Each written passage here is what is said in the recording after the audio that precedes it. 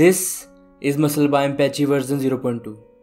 It's a wearable electromyography or EMG sensor that snaps directly to gel electrodes and connects to your muscle like a patch.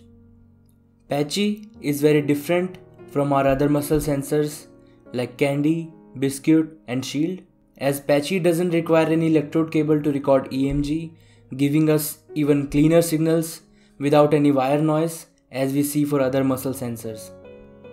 Now let's see what's included in the Muscle BioAmp Patchy version 0.2 kit. In the Ziploc bag, first you will see a sticker pack and the Muscle BioAmp Patchy kit itself. Opening the kit reveals a cute thank you card. On the back side of the card, you have all the details to apply for the project of the month. By applying, you get a chance to win cash prizes, discount coupons, and a chance to get featured on our social media handles and newsletter. It's pretty simple as well.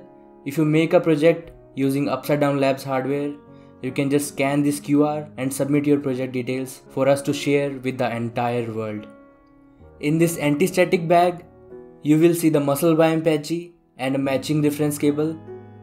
Muscle BioAmp patchy is a beautiful EMG sensor available in these 7 OMG colors and you can get all to add an amazing look to your next EMG based HCI project. It comes with reverse polarity protection, power indicator, onboard snap connectors, and Upside Down Labs powerful bioamp sensing technology for precise muscle signal recording.